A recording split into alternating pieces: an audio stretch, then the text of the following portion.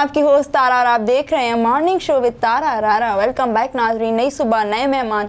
जैसा कि आपको पता है, रोज़ाना हमारे पास जो गेस्ट होते हैं, उनका ताल्लुक किसी ना किसी फ़ील्ड से होता है। मोस्टली टिकटॉकर्स आते हैं मोस्टली सिंगर्स आते हैं, लेकिन आज मैंने सोचा कुछ डिफरेंट किया जाए, कुछ अलग से, कुछ हट के नॉलेज वाली बातें पूछी जाएँ और ख़ुद की नॉलेज में भी इजाफा किया जाए। तो आज के जो हमारे पास गेस्ट हैं, सबसे पहले तो मैं इनका वेलकम करती हूँ अपने शो पे और उसके बाद तारुफ़ करवाऊँगी। उनका ताल्लुक भी एक जो गेस्ट है हमारे, उनका ताल्लुक मीडिया से है, सहाफ़त से है, ख़ुद एक सहाफ़ी हैं और काफ़ी अच्छी एक्टिविटीज़ करते हुए मैं उनको देखती हूँ। देखती कहाँ पर व्हाट्सएप स्टेटस पर और सोशल मीडिया पे बहुत एक्टिव रहते हैं और जो दूसरे गेस्ट हैं हमारे साथ, उनका ताल्लुक जो है भाई, कैसे तोते कब्बो हाने गद्दारी है जो, उनका ताल्लुक जो है, वकालत से है केसेस देखते हैं, ये पूछेंगे किस किस किस्म के केसेस उनके पास आते हैं और मुझे भी लॉयर बनने का बड़ा शौक़ था मतलब था। तो मैं उनसे पूछूँगी, भाई, इस फ़ील्ड में क्या क्या एक्टिविटीज़ होती है? तो वेलकम करती हूँ अपने शो पे, फैज़ान सेठार और सुमेर जमान को। अस्सलाम वालेकुम सलाम। कैसे हैं आप? अल्हम्दुलिल्लाह आप कैसे हैं? मैं बिल्कुल ठीक। मज़े में फैज़ान कैसे हो? अल्हम्दुलिल्लाह मैं ठीक ठाक। आप सुनाए? मैं बिल्कुल ठीक। मज़े में आने में कोई दिक्कत तो नहीं हुई? बिल्कुल हुई शो के बाद बताएँगे। अच्छा ये कुछ ये दिक्कत ये हुई कि हमें वेट ज़्यादा करना पड़ा। अरे ये वो मीडिया का पता था ना थोड़ी मेरी इज़्ज़त रख ली। मतलब सियासी जवाब दिया मुझे कि शो के बाद बताएँ। बिल्कुल बिल्कुल बिल्कुल। अच्छा फैज़ान मुझे ये बताएँ ज़िंदगी में क्या चल रहा है फ़िलहाल? यार फ़िलहाल तो अभी सहाफ़त को कंटिन्यूसली रखा है फ़िलहाल। और साथ साथ और साथ साथ कुछ वेलफेयर्स हैं काम करना एज अ मीडिया कोऑर्डिनेटर और सहाफ़त को ये आपको पता है हमारा आउटडोर का ही सारा काम होता है। बाहर होते हैं। इंडोर में तो होते नहीं हैं। बस ये रिपोर्टिंग करते रहते हैं आवाम के मसाइल आवाम की सारी चीज़ें हाईलाइट करते रहते हैं। बस यही ज़िंदगी में अहम ही समझो सहाफ़त था। जरासीम थे सहाफ़त के। सो सबके सामने लेके आए कि हमने कहा वैसे बनना तो वकील था।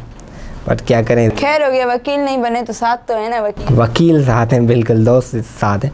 बट सहाफ़त भी एक बहुत अच्छा एक शोबा है जिसमें आप मेहनत करें स्ट्रगल करें बहुत सारी चीज़ें आप कर सकते हैं इन चीज़ों से। ऐसा ही है तो सुमैर जमान साहब से हम पूछेंगे आ, वकालत कब से इन्होंने शुरू की? केसेस किस टाइप के आपके पास आते हैं और क्या कहेंगे वकालत के बारे में? आ, सबसे पहले तो शुक्रिया आपने मुझे यहाँ पे मदू किया।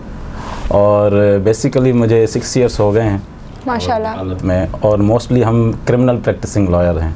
अच्छा। क्राइम के रिलेटेड जो चीज़ें होती है एफ़ आई होती है किसी वकालत का जो बेसिकली जो काम होता है किसी किसी की आवाज़ होना होता है। Exactly exactly. और किसी गरीब की कोई इंसाफ जहाँ पे इस सोसाइटी में जैसे आप देखती हैं बिल्कुल इंसाफ किसी को नहीं मिलता ला कानूनियत है पुलिस किसी की नहीं सुनती तो फिर वो अदालत के तरफ़ देखता है। अदालत में जब उसको रिप्रेजेंट करने वाला कोई और नहीं होता वो वकील होता है। तो हमारे लिए ये बायस फ़ख्र की बात है कि हम किसी और की आवाज़ बनते हैं उसके लिए हम तैयारी करते हैं प्रिपरेशन करते हैं और जितने सारे ये केसेस होते हैं मोस्टली कोई झूठ की ममरी होती है exactly. किसी गरीब के साथ कोई जुल्म हो जाए तो लाइक जुल्म के खिलाफ अगर कोई आवाज़ है तो वो वकील है तो ये एक प्राउड हमें फील होता है। अच्छा ज़्यादा किस किस्म के केसेस आपके पास आते हैं? मेरे पास तो जितने भी मेरे काफ़ी फ्रेंड्स भी हैं जो वकालत के शोबे से ताल्लुक़ रखते हैं लेकिन मैंने नोट किया ज़्यादातर उनके पास डाइवोर्स के केसेस आते हैं और इस टाइप के। आ, असल में बात दरअसल ये है कि कुछ हमारे लॉयर्स में कैटेगरीज होती है। ठीक है। कुछ सिविल प्रैक्टिस बिल्कुल बिल्कुल। कुछ कॉरपोरेट के होते हैं कुछ कस्टम्स के होते हैं। जैसे हमारी प्रैक्टिस है क्रिमिनल प्रैक्टिस लॉयर तो इसमें ये फैमिली लॉयर एक अलग होते हैं उनका भी एक, लेकिन जैसे डॉक्टर एमबीबीएस होता है चाहे फिर वो एमबीबीएस चाहे वो दिल भी देख सकता है आपकी ई भी कर सकता है, है। तो हमारे पास वकालत की डिग्री आ जाती है लेकिन जो मोस्टली जो डाइवोर्स के केसेस वो हमारी सोसाइटी को इतनी डैमेज हो गई कि आजकल घरों के जो इश्यूज़ ज़्यादा हो गए हैं और कंप्रोमाइज़ ज़्यादा ज़्यादा नहीं हो रहा बर्दाश्त दोनों तरफ़ से नहीं होती तो इसलिए ज़्यादा केसेस वो आ रहे हैं। लेकिन हमारी सोसाइटी में क्राइम भी ज़्यादा हो रहा है कहीं पे हाफ़ फ्राई फुल फ्राई हो रहा है कहीं पे किसी पे एफआईआर हो रही है कोई झूठे केसेस ऐसा ही है। तो हम मोस्टली क्रिमिनल केसेस देखते हैं। और शादियों के बारे में क्या कहेंगे आप? किसी की शादी कराई है आज तक ये नेकी का काम किया? ये जब हम तलाक कराते हैं तो हम कहते हैं कि देखो हमें आप दोनों की दुआएँ लेते हैं। दोनों का घर बस जाए उसकी भी दुआ कि वो उससे बिल्कुल बिल्कुल। और कि कोई हस्बैंड से परेशान है तो हम उसकी भी दुआएँ लेते ऐसा ही है। हम कोई बदवाएँ नहीं लेते हम दोनों के लिए अच्छा काम करते हैं। तो मतलब आप क्या कहते हैं कि डाइवोर्स बेटर है या शादी? देखें, शादी बेहतर है डाइवोर्स तो आपको, लेकिन इस समाज में हम कहते हैं कि damage relation is better than dead one exactly औरत के साथ अगर कोई हस्बैंड कुछ गलत कर रहा है उसको मार रहा है पीट रहा है अगर वो कंप्रोमाइज़ कर रही है अपने प्रेशर सोसाइटिकल प्रेशर है इज़्ज़त खराब हो जाएगी। हमने लोगों ने ये टेबू बना दिया है। फिर हमारी जो औरत है वो बेचारी वो घर में अपने आप को कंप्रोमाइज़ कर लेती है। लेकिन अब ये नहीं है। औरत पढ़ लिखी कॉम्प्रोमाइज तो सिर्फ़ औरत करती है मेरी नज़र में कोई मर्द कॉम्प्रोमाइज नहीं करता। क्या है कि आजकल जो औरतें ज़्यादा माशाल्लाह वो एजुकेटेड हो गई हैं तो कंप्रोमाइज़ मर्द भी कर रहा है कोई भी मर्द बेचारी औरत के तरह तो वो सामने वो बोलता भी नहीं है तो कंप्रोमाइज़ वो मर्द भी कर रहा है। आप क्या कहना चाह रहे हैं कि जो औरतें होती है वो भी होम डिपार्टमेंट होती हैं घर की? भाई वो होम डिपार्टमेंट नहीं सारी आर्मी चीफ वो सारा वही है ना तो औरत तो ये घर का एक मेन रोल प्ले करता है। तो शादी का जहाँ तक ताल्लुक है तो वो दोनों एक सही कहते हैं कि एक साइकिल के एक दो टायर्स होते हैं दोनों Exactly. अगर सही है तो वो चलेगा। अगर दोनों में से कहीं भी चाहे वो हस्बैंड हो फिर भी वह नहीं चलेगा। अगर हस्बैंड में कोई खराबी हो हस्बैंड गलत में तरीके से चल रहा है वो भी गलत है। औरत को भी अगर कोई चीज़ें अंडरस्टैंडिंग नहीं कर रही मर्द पूरा दिन बाहर होता है वो जॉब करता है उसको प्रेशर्स होते हैं दुनिया के पब्लिक डीलिंग में तो वो आके घर पे अगर आके उसको भी सुकून ना मिले और खुशी ना मिले तो this will going to be and that relation तो we all need to care about it okay Faizan Sithar क्या कहेंगे? इन्होंने इतनी प्यारी बातें की शेयर की कि डाइवोर्स शादी। आप वैसे कब शादी कर रहे हैं? मैं इंशाल्लाह करूँगा जब मेरा अहम ज़िंदगी मुझे थोड़ी देर फैजान के लिए हम बैठे हुए हैं जब चाहेगा हम शादी करा लेंगे। ए, ए, इतनी भी तेरशी नहीं मिले फैज़ान अभी बोले वही शो के बाद। नहीं नहीं इंशाल्लाह करेंगे। देखी भी है लड़की लड़की। हाँ बहुत सारी हैं लड़कियाँ तो बहुत सारी। देखता रहता हूँ। नहीं देखते रहते हैं। जब इंशाल्लाह मौका मिला करेंगे किसी अच्छी से। ऐसा नहीं कि जल्दी भी नहीं है कोई फ़िलहाल अपने काम को आगे जारी रखना है। सहाफ़त में कंटिन्यूसली काम करना है मेहनत करनी है। क्योंकि आउटडोर के बंदे आपको पता है अगर आप आउटडोर में गई होंगी तो बिल्कुल। और यही है कि सहाफ़त को पहले कंटिन्यूस रखेंगे। जब तक स्टडी पूरी हो जाती है उसके बाद फ्री शादी का सोचेंगे। फ़िलहाल तो ऐसा कोई सीन है नहीं। बाकी ये दोस्त यार हैं, उनके साथ चलते हैं, वही पूरी हो जाती है हर चीज़। एग्जैक्टली exactly, ऐसा ही है। फैज़ान सिटार एक बहुत अच्छा सहाफ़त से बिलोंग करने वाला लड़का है। मैं ये कहती हूँ, जब भी इसको मैंने आवाज़ लगाई कि, दादा, यहाँ पे ये प्रॉब्लम है, इसको हमने कवरेज देनी है। हक के लिए तो ये फ़ौर आया है। बिल्कुल। ऐसा ही है और ये मेन चीज़ होती है एक रिपोर्टर के लिए कि वो हर चीज़ को कवर करे अपना टाइम मैनेज करके। तो ये बहुत अच्छी बात है बेस्ट ऑफ़ लक बहुत आगे तक जाओ। मुझे ये बताओ कि तुम्हें सहाफ़त का शौक़ क्यों हुआ? यार इतनी फील्ड्स पड़ी हैं। ज़िंदगी में ना हर किसी का मकसद होता है। कुछ लोग ऐसे निकल आते हैं उनका मकसद नहीं होता है।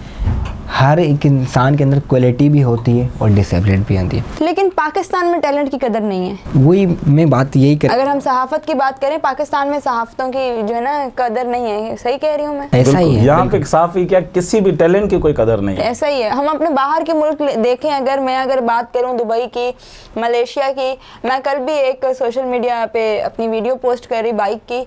तो मतलब मैंने मैंने ऐसी पोस्ट की। मैंने कहा यार यहाँ पे तो कदर वैसे भी नहीं है। हमारे टैलेंट की तो मैं कर देती हूँ। जब मैंने उसको पोस्ट करने के बाद चेक किया तो उस पर मुझे दो घंटे में कोई चार लाख व्यूज़ मिले। तो जब वो व्यूज़ आए तो वो व्यूज़ देखने के बाद कोई दुबई से हमारे कल्चर का है कोई बंदा यार हमारा जब तक सिस्टम निज़ाम ही ख़राब होगा सही है। सहाफ़त को अगर आप देखा जाए सहाफ़त तो कहना आसान है ना। उसको दिखाना मनवाना बड़ी बात है। अब देखें सहाफ़ी ऐसे भी पढ़े मैंने मैं नाम नहीं लूँगा किसी भी चैनल का ना ही किसी सहाफ़ी का। मैंने ऐसे सहाफ़ी देखे जिनको न्यूज़ का पता तक नहीं है न्यूज़ है क्या आखिर?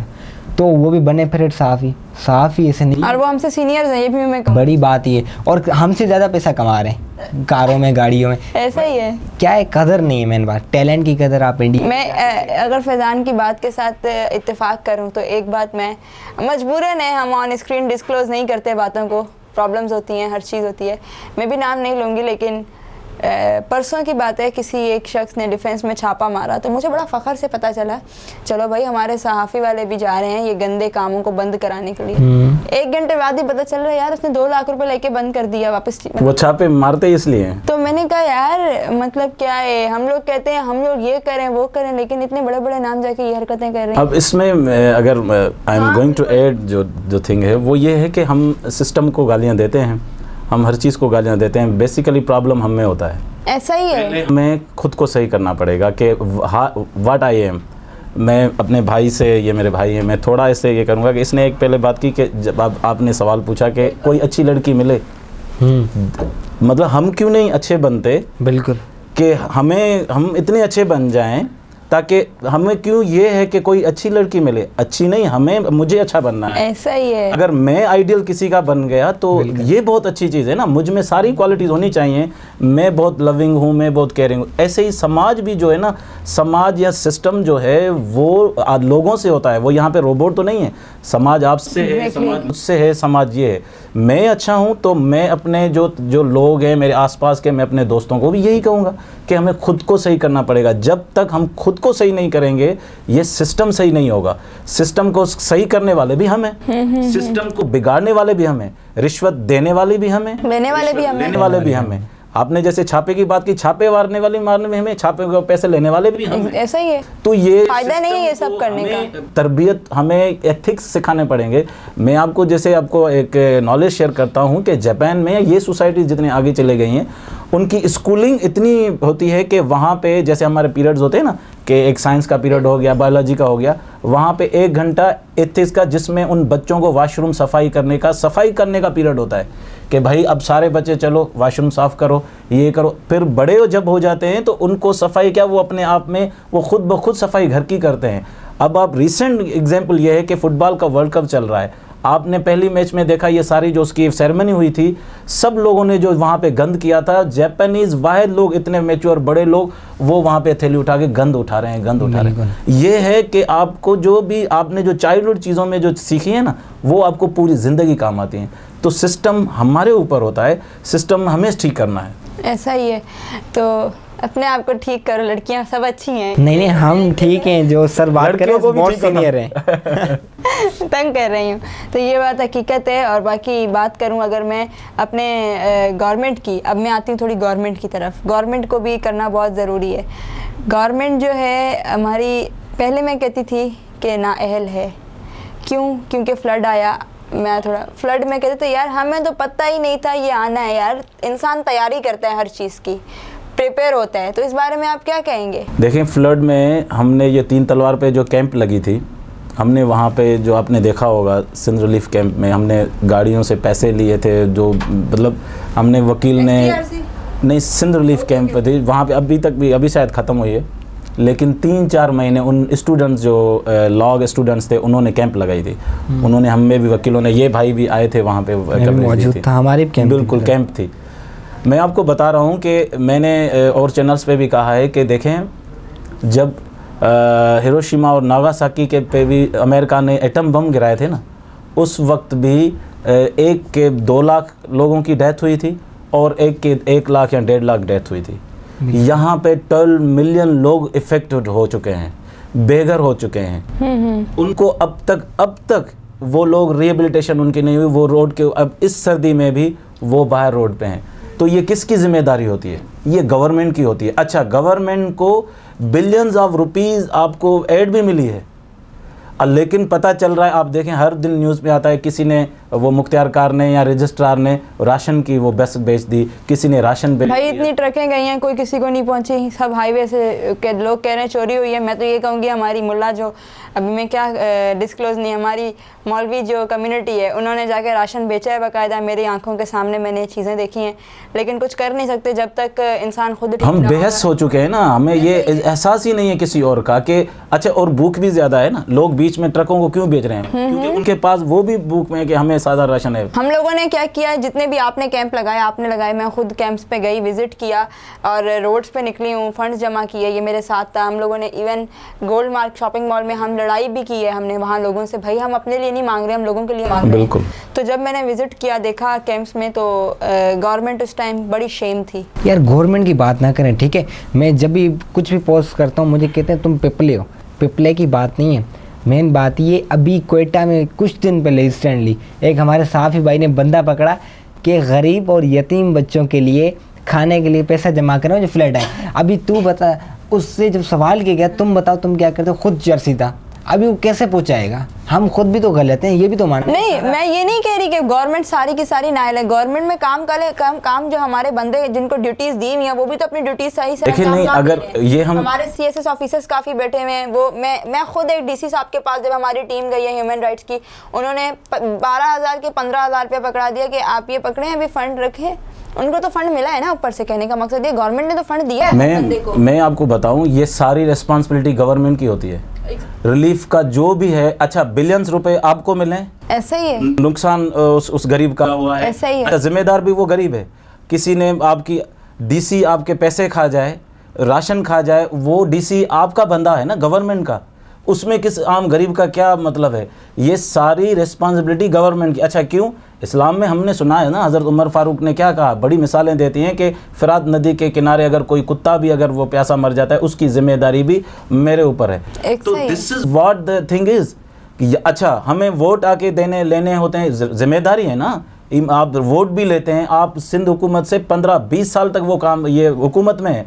यहाँ तो आप हुकूमत अच्छा दूसरा ये बड़ा है आप कनाडा हो या किसी मुल्क में हो इतनी तबाही आ जाए या किसी प्लेन क्रैश भी होता है ना वहाँ का मिनिस्टर रिज़ाइन कर देता है।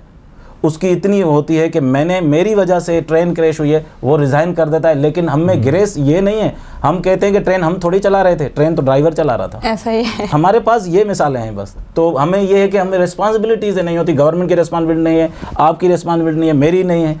तो इसलिए वो आज भी गरीब दरबदर और जिनके पास फंड होते हैं उनके रिश्तेदारों को भी मिलते हैं उनके मामे ताए के बच्चों को भी मिलते हैं उनके दोस्तों को भी मिलता है उनके हर बंदे को मिल रहा होता है। और उनके पास कहाँ से आ रहा है? भाई हमें तो हमारा डीसी बंदा हमारा चाचा बेटा हमारा तो सबसे बड़े गरीब भी तो वही होते हैं ना। हाँ ऐसा ही है। उनको भी तो उनको भी तो पेट भरना है ना। बिल्कुल। करोड़ों अरबों रुपए अच्छा तनख्वाह ऐसा ही है। करोड़ों अरबों रुपए अलग। एक एक आप ऑफिशियल की लो जो भी। अच्छा आप से देखें ना परसेंटेज है। वो क्या कहते हैं? सिस्टम में परसेंटेज है। अच्छा वो मिनिस्टर से शुरू होके आपके जो एड में जो मिलता है ना वो परसेंटेज इतनी इतनी कट कट के इतना सा मिलता है। इन, इतना भी नहीं मिलेगा गरीब को तो वरना इतना मिलते तो वो ऐसे अच्छा मलेरिया भी आपके पास डेंगू भी आपके पास। मैं जब अच्छा अस्पतालों में सहूलत नहीं। मैं बात कट करूँ मैं डिफरेंट चैनल्स पे भी गई मैंने जब इंटरव्यूज़ दिए मैंने मैं समा के साथ लाइव थी जब फ्लड के दौरान प्रेस क्लब पर। तो मैंने समा को भी बोला कि हमारी गवर्नमेंट ने कुछ भी नहीं किया फ्लड में। हमारे लॉयर्स यंगस्टर्स यंगस्टर्स निकले हैं जो नवाबों की तरह घर में ज़िंदगी गुजारते हैं। वो लोग रोड पे निकल के मांग रहे हैं अच्छी फैमिलीज़ के बच्चे। तो आप लोग क्यों नहीं निकल रहे? आप लोगों को क्यों शर्म आ रही है? तो हमारे वो आते हैं ना विज़िट पर एक एक दफ़ा एक रोड से गवर्नमेंट ने बहुत सा- हम तो पाकिस्तान घूम कर आए हैं ये किया है। अब आप जो हैं नहीं गवर्नमेंट ने बहुत सारा दिया है वो छुपा के क्योंकि हमेशा जो हाँ, भी हाँ, चीज़ देखे देखी अच्छा काम किया जाए ना तो मेहर भाई समझ सकते हैं मेरी हाँ। बात को ठीक है? अच्छा- तो अच्छा दिखाया काम नहीं जाता है हमेशा। इसलिए तुमने तो नहीं खाया कहीं? नहीं नहीं नहीं। और कहीं कहीं तो मैं मजबूरन चुप कर जाती हूँ कि मुझे पीछे से कट का इशारा आता है कि ज़्यादा देखिए हमारी हमारी आज़ाद अच्छा ये ये मजबूर मैं डिफरेंट चैनल्स पे आज़ाद साहब आज़ाद मीडिया ये है कि आप जो भी सच कहें तो उसको कट कर दें कट कर देते हैं। आजा सच को कोई नहीं सुनाता। यहाँ पे सच नहीं सुनना देते। यहाँ कहते हैं कट करो। भाई मुझे थ्रेड्स भी आई हैं। फैजान साहब मुझे थ्रेड थ्रेड्स आई कि आप ना हमारे खिलाफ बोल रही हैं। आप हमारे खिलाफ ये कर रही हैं। थ्रेड्स तो भी कुछ भी नहीं अच्छा नहीं आप इनको ये जवाब दें। अगर आप अच्छा काम करेंगे हम तो सबसे ज़्यादा आप आपके यार मसला सारा ये ना आप टॉपिक क्लोज करते हैं मसला ये है, हम पैसे नहीं खाते ना हम क्या करें? हमारे पास अलहमदुल्ला है हम पैसे खाएँ तो हमें भी वो चुप करा दें। सही बात है। क्यों? अच्छा मतलब आपका कहना मतलब जो मतलब हमें देने वाले। हमें देने वाले दे रहे हैं अच्छा आपका मतलब क्या है कि फैजान जो तारीफ़ कर रहा है इसमें कुछ है? नहीं देखिए यार सहाफी के अगर ऊपर बात की जाए ना देखो। फैजान साहब केस बनता है। वकील साहब आपका अपना लेकिन चिड़वाऊँगा भी मैं मेरा मेरे लिए तो ये क्लाइंट है ना। आप हकसत की बात करें ना सहाफत में भी ये नाजायजियाँ हैं। आप सहाफी की सैलरी देखें खैर five fingers are not equal आपकी बात के साथ मैं यू आर एग्री मिल गई आप गवर्नमेंट से। गवर्नमेंट से नहीं मिली। मैं बोलूँगी कि पहले डिग्री उठाते थे उनको नौकरियाँ मिलती थी। अब डिग्री वाले सिंपल बात है बाबा सही वो क्या कहते हैं पढ़ोगे लिखोगे होगे खराब रोलोगे पिनोगे बनोगे नवाब। नवाबों के बच्चे नवाब ही हैं। जो डिग्री उठा के बैठे हुए उनके पास कोई वो नहीं है गरीब का बच्चा गरीब धोबी का बेटा धोबी। नवाब का बच्चा नवाब बैठा हुआ है सरदार का बच्चा सरदार है। ये गलत ये सिस्टम कल कल कल परसों मुझे मैं रोड से गुजर रही हूँ एक लड़का। मैंने कहा यार ये इतना एजुकेटेड है ये वो मेरे पास मेरी अपनी सीवी लेकर आया है। मुझे कहीं जॉब पे लगा दे। जब मैंने उसकी सीवी पढ़ी तो उसमें इतना एम फिल तक उस लड़के ने किया हुआ है और उसको जॉब नहीं है। गवर्नमेंट जॉब नहीं है प्राइवेट भी नहीं मिल रही अब तो उस बेचारे को। और जो अनएजुकेटेड जाहिल हैं वो उनको आप जाके देखें वो उनको इंग्लिश पढ़नी भी नहीं आएगी ना उन्होंने अपने साथ ना असिस्टेंट रखा हुआ है। यार ये पढ़ के तो इस मुल्क की तबाही फिर क्यों हुई है? बस सब कुछ नहीं हम लोग कुछ नहीं कर सकते। नहीं हमें ही कर सकते हैं जो अच्छी सोच रखते हैं जो हम जो करते हैं ना वो अरशद शरीफ साहब को देख लें आप। अब बोले आप। नहीं कुर्बानी तो देनी पड़ेगी किसी को तो देनी पड़ेगी ना। खैर मजबूर हैं क्या करें? खुश रहें आबाद रहें क्या मैसेज दोगे जाते जाते बस मैसेज यही देंगे कि मुझे बहुत ज़्यादा प्यार है आउटडोर वाले लोगों से क्योंकि काम करते हैं बहुत सारा एक अच्छा काम मेहनत वही करते हैं। इंडोर वाले के लिए मैं कुछ नहीं बोलूँगा। ऐसा ही है। मेहनत आउटडोर वालों की होती है। सहाफ़त का जिसके अंदर जरासी में वही काम कर सकता है इस फ़ील्ड में। बाकी इसको कि बंदा आम बंदे की बस की बात नहीं। हम धूप पे भी सड़ते हैं सर्दी में भी निकलते हैं। बिल्कुल। दिन हो रात हो शाम हो कोई भी टाइम हो आधी रात को भी जाके रिपोर्टिंग करनी हो तो करते हैं। बिल्कुल सेम आपके सामने हर चीज़। मैं बहुत क्या कहोगे आज शो पे आके कैसा लगा मिलके कैसा लग मिलके कैसा लगा? अच्छा लगा ऐसे प्रोग्राम्स होने चाहिए। लाजमी नहीं कि आप टिकटॉकर को प्रमोट करें। ऐसे ऐसे टैलेंट बहुत सारे पाकिस्तान में पड़े उनको आप प्रमोट करें। और एक अच्छा प्रोग्राम है ये बहुत। मैं कहती हूँ कि जिस जिसको आना है ये डर खुला हुआ है ये जगह खुली है ये रूम खुला है आप सबके लिए क्योंकि अगर किसी को स्क्रीन पे बैठना होता है तो लोग कहते हैं हाँ भाई फॉलोअर्स कितने हैं? मैं ये नहीं पूछती। अच्छी बात है, है। आके बैठो। खुश हो जाएगा और क्या? क्या कहेंगे आप? मैं सिंपली यही कहूँगा मेरा मैसेज यही है कि हमें खुद को चेंज करना है। इस सोसाइटी को अच्छे लोगों की ज़रूरत है और अच्छा बनना है इस सोसाइटी को चेंज करना है। चेंज हम ला सकते हैं चाहे वो रिवॉल्यूशन की सूरत में हो। कौम सदियाँ गुलाम होती हैं सदियाँ कौम गुलामी में रहती हैं लेकिन वो भी उठ जाती हैं चाहे चाहे पिछली जो भी कौमें हैं। ये एक चाइना आप देख लें नंबर वन पे जा रहा है उसको आफियम की कौम कहा जाता है आफीमी कौम कहा जाता था। इवन जो अमेरिका है वो भी अंग्रेज़ों का वो मतलब ग़ुलाम था। उन्होंने कैसे तब्दीली लाई? फ्रांस में इतना बड़ा तो हमें पहले तो हमें अच्छा वो चेंज कैसी आएगी? हमें पढ़ाई से, इल्म से आएगी। इलम एक नॉलेज इज़ पावर ये पहले तो हमें सबको नॉलेज करना पड़ेगा, किताब उठानी पड़ेगी। हमें होटलों से, हमें ये TikToker is good it is fun ये होता है कि आपके लिए एक्स्ट्रा करिकुलर एक्टिविटीज़ में आ गया। exactly. लेकिन उससे पहले हमें सबसे जो इम्पोर्टेंट चीज़ है वो किताब है। हमें किताब की तरफ़ वापस आना पड़ेगा। हमें अपनी लाइब्रेरी सेट करनी पड़ेंगी। हमारी ये पाँच बजे तीन बजे रात तक होटलें खुली हुई हैं। अगर वो सोचो कि तीन बजे तक कोई लाइब्रेरी खुली हो और ऐसे ही लोग बैठे हों वो हम्म। कौमें कितनी तरक्की करेंगे। बड़ी बात this is what my message is exactly तो गाइज़ अपना रखें बहुत सारा ख्याल। अपने प्यारों का रखें बहुत सारा ख्याल। मैं ये कहूँगी यार, हमारी मीडिया तो हमें सपोर्ट करें, मुझे बोलने दिया करें प्लीज़ और खुश रहें आबाद रहें, इंशाल्लाह फिर मुलाकात होगी नए मेहमान के साथ, नए आर्टिस्ट के साथ, आपकी अपनी फेवरेट पर्सनैलिटी के साथ। अल्लाह हाफिज़।